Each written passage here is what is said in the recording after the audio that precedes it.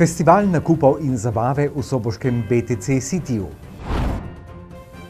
Ljudsko univerzo Morske sobota obiskala ministrica za digitalno preobrazbo.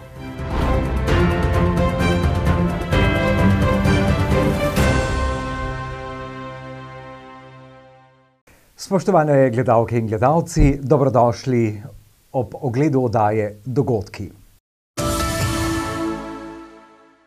V BTC Cityju v Murski soboti so 25. maja pripravili tradicionalni festival nakupov in zabave. BTC City Murska sobota je v soboto 25. maja pripravil festival nakupov in zabave.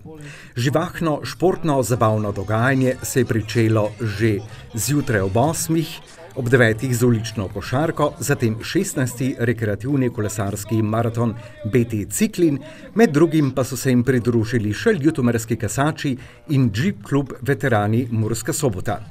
O tradicionalni pomladni prireditvi Mitja Horvat, direktor BTC Murska sobota in Novo mesto. Eh, BTC kot tak letos praznuje 70 let svojega delovanja, zato tudi ta tradicionalni festival nakupne zabave letos malo drugače, Kot vidite, dogajanje peso že od 8 ure naprej, poleg vseh popustov in eh, otroške predstave, ki so začela že včeraj, smo danes pripravili, jaz sem ga res en malo drugačen in pester program. Uh, ulična košarka 3 na 3, GP klubi se predstavljajo, veteran se predstavlja, potem imamo kolesarski maraton 40, ob 11. je glasbena šola Murska sobota pripravila dan odprtih vrat, no pa zvečer pa potem je še prav posebno presenečenje, uh, nogometašice Mura Nona so osvojile poleg državnih prvakin še pokal, tako da tudi en taki sprem bomo pripravili v petih čale sale za zaključek, podelitev priznanj, nagrad, ki se pravi dogajanje skozi cel dan. Z dogodki, kot je bil sobotni, BTC dokazuje, da je poleg nakupovalnega doživetja pomembno tudi, da se podružimo, pozabavamo in športno udejstvujemo. BTC City ni zgolj in samo neki nakupovalni center, BTC City mora biti neko, neko stičišče, druženje, dogodki, dogajanje, povezovanje in tudi to, kar danes vidite, jaz mislim, kaj je začetek nekega tudi regijskega povezovanja zavodov, dogodkov in jaz mislim tudi predvsem pa neka promocija športa v organizaciji z našimi lokalnimi zavodi, ekipami, Jaz mislim, da smo na pravi poti in ljudje pridejo, veselijo se in zadovoljni so tudi obisk maratona in tudi ulične košarke je fenomenalen. V soboto so bile v BTC-ju številne organizacije in javni zavodi, kar potrjuje besede o povezovanju, druženju in ne le organizaciji iz mestne občine. Delno drži ta izjava, se na konec koncev se moram strinjati s tem, ampak mi že cel čas težimo k temu, da neki multifunkcionalni shopping skupaj s povezavo z nekim druženjem, da ponudimo nekaj več kot stičišče nekega druženja, seveda nakupovalne izkušnje je bistvenega pomena, seveda, se zato konec koncev tudi prenavljamo, vabimo nove naše nakupovalne, eh, tudi te partnere, neki te branžni miks se pripravlja, vedno novi, vedno nekaj novega, eh, ampak stremimo pa k temu, da ne bo shopping center samo zgolj neki, bomo rekel, dosaden shopping center, ga priješ, kupiš eh, tisto, kar hočeš in greš domov. To ni namen. Poleg kafičev pripravljamo tudi neki street food, ki bo naslednje leto. Dogodki bojo še celo leto, leto še posebej, kot sem rekel, pri 70-letnici. Ampak to je, to je naš namen. Mi bomo naš shopping center razvijali in pripravljali k temu, da bo več kot samo neka nakupovalna izkušnja. Na prireditvi se je model tudi župan mestne občine Murska sobota Damjan Anžel, ki mu prav tako veliko pomeni, da BTC poleg nakupovalnih vsebin ponuja veliko več. Ob 70-letnici BTC-ja, ki so jo prav tako obeležili, je takšno druženje lepa priložnost. Pred 25 leti, ko je BTC prišel v Mursko soboto, je dejansko postavil eh, drugačne nakupovalne navade, katerih v tem našem okolju ni bilo torej več trgovin na enem mestu, eh, celovito doživetje in tudi danes eh, z obeležitvijo obletnice eh, dejansko kaže na to, da je dokupovanje nekaj več kot samo, da gremo v trgovino, vzamemo izdelek in ga plačamo. In to BTC dobro počne tudi z temi obstranskimi dogodki, tako da je to ena pridobitev tako za naše mesto kot našo regijo vsekakor. To vrstno povezovanje društev in javnih zavodov je seveda koristno in lepo za vse deležnike, ki skrbijo za to, da mesto živi. Dejansko je res tako, da samo s povezovanjem lahko damo nekaj več in eh, s tem povezovanjem dejansko ponujamo več možnosti za občane, obiskovalce. Tako da z temi nekimi dogodki, ki so se ravno v teh dneh začeli, vstopamo v to, če se tako izrazim, soboško poletje in res se bo zvrstilo veliko dogodkov. Že samo danes jih je kar nekaj tudi glasbenih in jaz verjamem, da, smo, da vsi skupaj lahko pripravimo bogat, raznovrsten program, tako da tudi vsak občan najde nekaj zase in to bogati dogajanje v sami mestni občini in tudi v regiji. Praznovanju so se pridružili, kot smo že omenili, tudi ljutomerski kasači, ki se jim je pridružila ljutomerska županja Olga Karba. Torej gre res za povezovanje v regiji.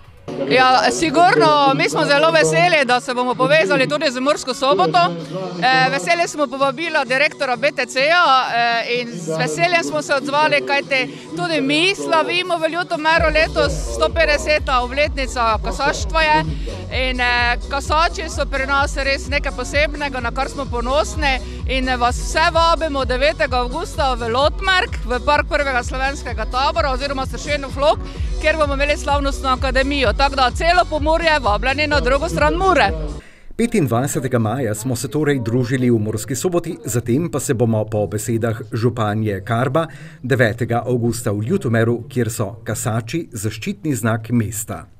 Tako je, zato smo tudi letos eh, razglasili eh, leto prleških vrednot in ljutomerskega kasača. Potem smo prepoznavni, edino v Ljutomeru se zgodi 8 kasaških dirk na leto. E, tako da to je zelo dobro obiskovano, to povezuje ljudi in na to smo ponosni. Pomembno je, da praznujemo in se povezujemo, ter se imamo dobro. Zvrstilo se je veliko dogodkov, ob tem pa tudi tekmovanje v košarki 3 na 3. Predsednik kluba Radenska Kreativ in organizator tekmovanja v okviru praznovanja BTC Peter Jutršnik. Z gospodom direktorom kar dobro sodelujemo že odprej in smo se nekako odločili, da v ta event naredimo tudi en dober košarkarski turnir 3 na 3, seveda z pravimi igrišči, tako kot se spodobi. In uh, vidimo, da je stvar zalofala, je ogromno mladih, tudi člani bodo zdaj začeli igrati. In mislim, da bo ta zadeva, oziroma ta turnir, do zdaj tradicionalen. Uh, naš klub pa se je odločil, da bo v bistvu zgradil oziroma delal predvsem evente košake 3 na 3 v vzhodni Sloveniji. Lahko povem, da imamo 23. junija v Murski soboti uradno državno člansko prvenstvo v košaki 3 na 3. Za mlade košarkarice in košarkarje je seveda lepo igrati na prostem in v lepem vremenu, ker to pomeni, da jih obiskovalke in obiskovalci BTC Citya uspodbujajo in si tekme ogledajo. Ja, gledajte, mladi čez leto trenirajo, igrajo dvoransko košarko, ko pridejo zunani časi, je to za njih en, za njih take stvari so zelo pomembne, radi se družijo, igrajo košarko in seveda ostanejo v športu še čez počitnice, da vse skupaj ne zamre. Seveda pa imajo igralci nekaj od tega, blagovne znamke, središča, tako da malo združimo nekaj koristnega, lepega, veselega v košarko. Katere generacije igralk in igralcev so si obiskovalke in obiskovalci lahko ogledali? Na tem turnirju igrajo generacije do U15, se pravi 15 let in mlajši in 15 let in starejši. Če bi imeli možnost postavitve še enega igrišča, bi verjetno razpisali še kako kategorijo, ampak na enem igrišču, nažalost, v enem dnevu ne moremo speljati več tekem. Jutršnik še o tem, če je zadovoljen z obiskom oziroma dogodkom. Seveda, oni se morajo družiti, veseliti, seveda to skozi šport je še lepše. Ekip je prijavljenih ogromno, vreme je lepo, lep dogodek, lep event in naj zmagajo najboljši. Jeep klub veterani Murska sobota pa se je pri reditvi pridružil in ob tem obeležil tudi pomembno obletnico. Štefan Jančarič, predsednik kluba o obeleževanju. Pridružili smo se zaradi tega, ker danes sta dva praznika. Prvi praznik je 80. obletnica izkrcanja zaveznikov v Normandiji v letošnjem letu in mi smo se udeležili leto 2014 z štirimi vozilami v Normandiji 70. obletnice. 7. obletnico praznuje blagovno-trgovski center BTC v Murski soboti. In seveda danes je dan mladosti, 25. maj, ki tudi starejši vemo, kaj je takrat bilo, ko smo se družili in se lepo imeli. Jeep klub je v BTC-ju predstavil ameriška vozila. Mi imamo samo ameriška vozila. ameriška vozila Jeep, Willys, GPV, Ford, Dodge in James. Tudi se nekateri še zdaj pridružijo. Ampak pomembno je, da danes predstavljamo vojaško, ameriška vojaška vozila in opremo tu na BTC-ju. Veterani so se seveda odpravili tudi na vožnjo, torej vozila niso le predstavljali. Mi se bomo okrog 12. popeljali po lepem mestu Murska sobota, si ogledali nekaj znamenitosti. Sodelujočih v praznovanju BTC Citya je bilo veliko, dogajanje pa se je nadaljevalo do poznega povodneva. BTC je torej čisto zares poskrbel za druženje in zabavo, in BTC postaja vse bolj dejavnik povezovanja.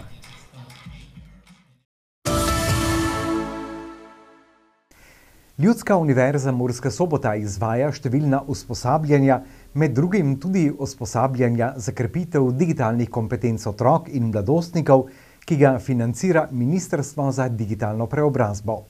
Udeležence usposabljanja je na prvi uri obiskala tudi ministrica dr. Emilija Stojmenova Duh.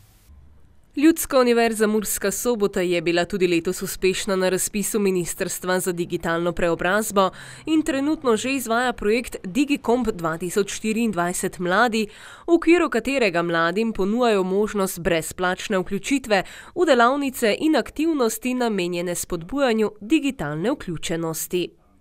Ljudske univerze so za nas izjemen partner, zato ker so že prisotni na terenu in ker že izvajajo usposabljanja, ker točno vedo, kako morajo delati z različnimi ciljnimi skupinami. Na našem ministrstvu sofinanciramo projekte za digitalne kompetence za različne generacije, od najmlajših do najstarejših in zato so ljudske univerze še toliko bolj pomembne. Projekt, ki smo ga pa danes obiskali, gre za usposabljanje mlajših, da pridobijo osnovne digitalne kompetence, ki jih bodo potrebovali ne samo, v vsakdanjem življenju, ampak jim bodo te kompetence koristile tudi pri njihovem nadaljem delu. Omenjeno ministrstvo je ta projekt prvič razpisalo v lanskem letu. Tudi takrat je Ljudska univerza Murska sobota bila uspešna s prijavo in izvedbo. Takrat jim je uspelo usposobiti 440 mladih. Uh, imeli so 100% realizacijo, kar je res uh, vsega spoštovanja vredno. Uh, v letošnjem letu so ponovno bili uspešni na našem razpisu in predvidevajo, da bodo usposobili več kot tisoč mladih, torej več kot dvakrat več kot v lanskem letu. Za razvoj digitalnih kompetenc pri mladih ministrstvo namenja 6 milijonov evrov. Tukajšnja ljudska univerza pa je za izvajanje usposabljanj prejela 170 tisoč. E, tečaji so 22-urni, e, obsegajo nekako osnove, tako tudi nadaljevalne tečaje, e, nekaj o delu v oblaku, nekaj o varnosti na spletu, tako tudi o umetni inteligenci, ki je vsakakor del našega vsakdana. So pa nekoliko omejeni glede števila udeležencev. V tem eh, koledarskem letu imamo deset skupin, kar pomeni sto udeležencev. Smo pa tudi v prejšnjem letu imeli eh, delavnice tako za to mlajšo populacijo, se pravi od 6 do 29 let, smo izvedli pet delavnic, eh, kako tudi za tiste, ki so starejši. In to, bila, to so bile skupine, ki so bili udeleženci starejši od 30 let do konca, če lahko tako povem. Eh, tukaj smo pa vključili preko 200 udeležencev, ki so seveda z velikim zanimanjem eh, prihajali na tečaje, zato ker je tudi zadeva bila povezana z brezplačnostjo in seveda z potrebami, ki jih diktira tako, eh, bom rekel, trg dela, kot tudi zanimanje recimo pri upokojencih za te moderne stvari. Sicer Ministrstvo za digitalno preobrazbo poleg omenjenega projekta namenjenega mladim financira še druge podobne aktivnosti v smeri digitalnega opismenjevanja financiranje projektov za razvoj digitalnih kompetenc za odrasle in imamo tudi projekt, ki je posebej namenjen starejšim, to so mobilni heroji. V okviru tega projekta ponovno Ljudska univerza, v tem primeru Velenje s partnerji, imajo mobilno učilnico in potujejo po celi Sloveniji, tudi v prekmorju in vzpostavljajo predvsem starejše.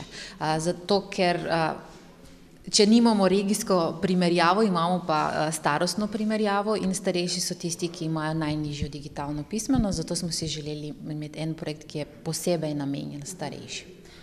Vodstvo Ljudske univerze Murska sobota je v pogovoru z ministrico izpostavilo nekatere težave, s katerimi se soočajo pri svojem delu, predvsem pa si želijo večjo pretočnost informacij med razpisniki in izvajalci.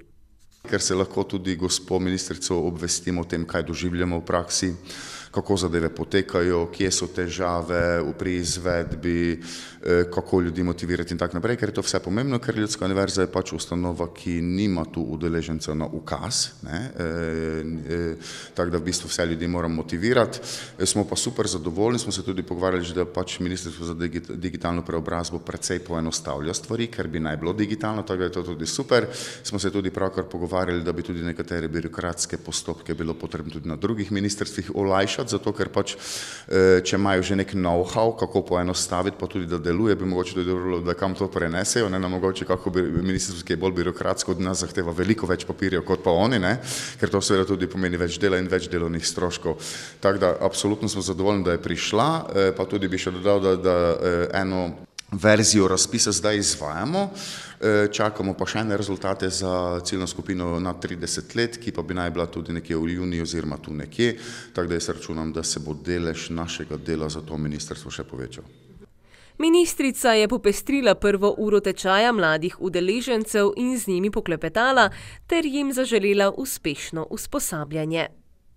Gre za posebno skupino mladih, ki so verjetno bolj uh, introvertirani. Jaz sem vesela, da so sploh uh, povedali, kaj počnejo in uh, predvsem mi je bilo všeč, ko so povedali, kakšni so njihovi cilji, zakaj se udeležujejo teh delavnic, ker imajo neko motivacijo, nekateri želijo se upisati v šolo, drugi si želijo dobiti službo, to pomeni, da se zavedajo, kako pomembne so te digitalne kompetence in da to znanje, ki ga bodo tukaj dobili, jim bo pomagalo k uresničitvi njihovih ciljev. Ministrica za digitalno preobrazbo, dr. Emilija Stojmenova Duh, je obisk prekmurja nadaljevala v Dobrovniku in Lendavi. Spoštovani in spoštovani, to je bilo vse, kar smo zbrali za vas v tokratnih dogodkih. Lepo zdrav!